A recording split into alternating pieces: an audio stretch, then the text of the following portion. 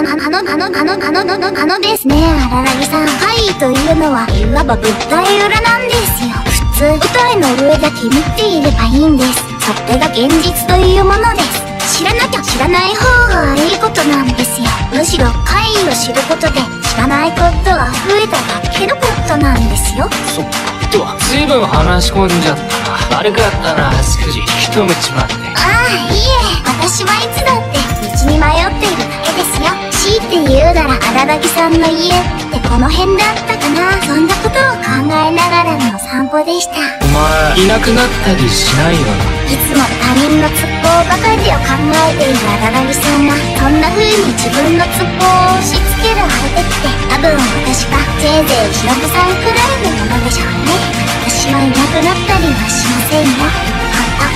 私がどうしようもなく困っていたらその時は助けていただいても構いませんか？助けるよ。当たり前だろ。あのですね荒木さん。怪異というのはいわば物体裏なんですよ。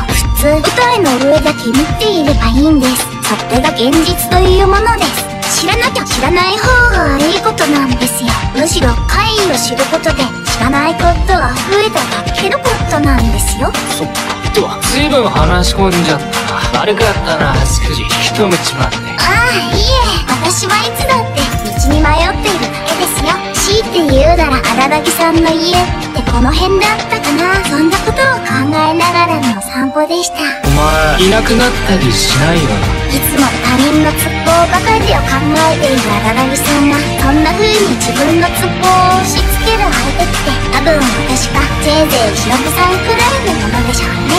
私はいなくなったりはしませんよ私がどうしようもなく困っていたら、その時は助けていただいても構いませんか？助けるよ、当たり前だろ。あのですね、荒木さん。怪異というのは、いわば物体裏なんですよ。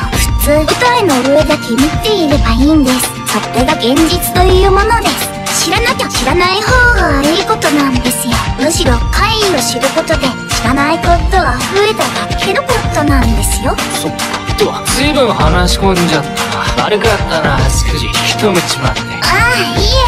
私はいつだって道に迷っているだけですよ。強いて言うなら荒木さんの家ってこの辺だったかな。そんなことを考えながらの散歩でした。お前いなくなったりしないよいつも他人のツッコばかりを考えている荒木さんがそんな風に自分のツッコを押し付ける相手って多分私かせいぜい忍さんくらいのものでしょうね。私はいなくなったりはしませんよ。あ私がどうしようもなく困っていたらその時は助けていただいても構いませんか？助けるよ。当たり前だろ。あのですね荒木さん。怪異というのはいわば物体